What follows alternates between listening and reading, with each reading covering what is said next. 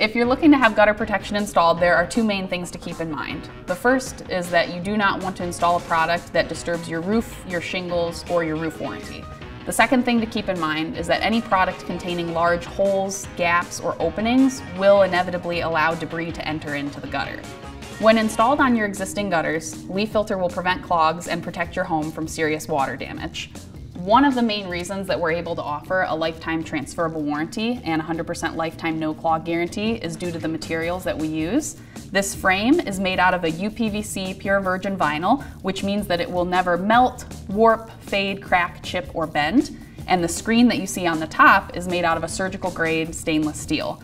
This material is resistant to rusting or corroding, and the great thing is that no organic material will ever be able to stick or bind to it. So for example, leaves, bugs, algae, mold, moss, and shingle grit. None of that will be able to adhere to the filter. And what happens is when the water enters into the system, it doesn't just come out in one spot below like you would see typically with uh, contractor grade or something that you could get from the hardware store that works like a strainer where you have to wait for that water to seep through, the LeafFilter will actively pull and siphon the water into the gutter like a suction.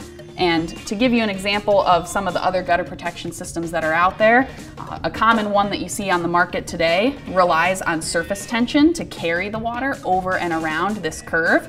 The downside is with this large gap in the front, water isn't the only thing that will be getting its way in the gutter. When it starts to rain and water comes down on the system, it will pull in any debris that manages to land on top of it.